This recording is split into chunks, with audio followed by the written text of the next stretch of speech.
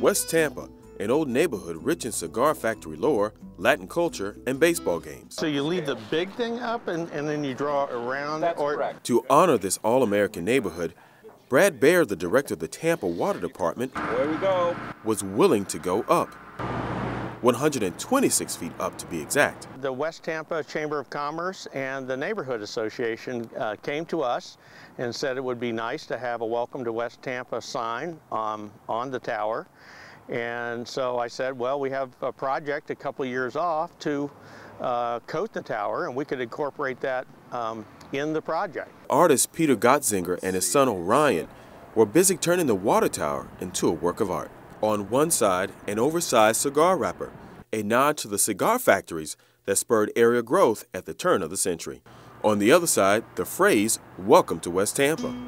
The big murals on the tower are just a small way to recognize those that have done so much for Tampa. This is Frank Crum for Spotlight Tampa.